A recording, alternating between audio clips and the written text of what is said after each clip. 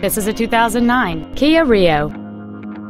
It features a 1.6-liter four-cylinder engine and an automatic transmission.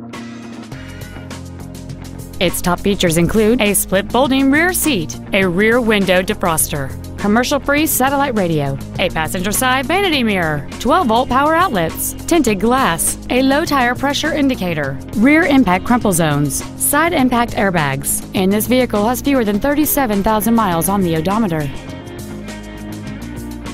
With an EPA estimated rating of 35 miles per gallon on the highway, this vehicle pays off in the long run. Stop by today and test drive this automobile for yourself.